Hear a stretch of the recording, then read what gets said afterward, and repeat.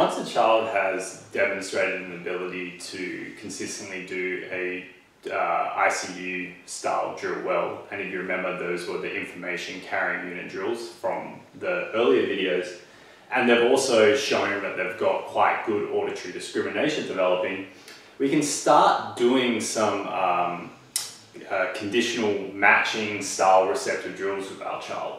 Uh, this is something that is really going to encourage the child to tune in and have to really listen to what we're saying and it's going to uh, really develop um, like a, a, strong concentration from the child that's going to be useful in everything they do in life.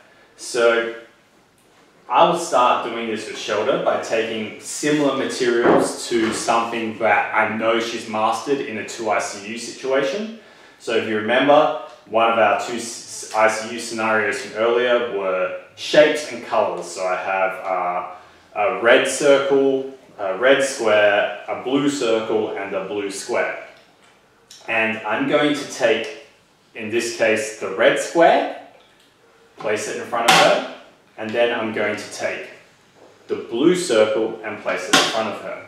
Now, I have the red square in front of her, the blue circle in front of her, and in my hand, and for uh, entire token strip of this drill, I'm going to be using just this red circle, and it's going to look something like this. Shelda, put with red.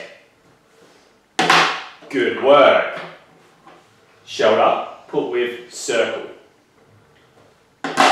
Very good. So what you can see I'm doing there is I'm going to Obviously, this object matches both of these different objects in a different way, but Shelda has to wait and see what I say before she can make that match in her own head.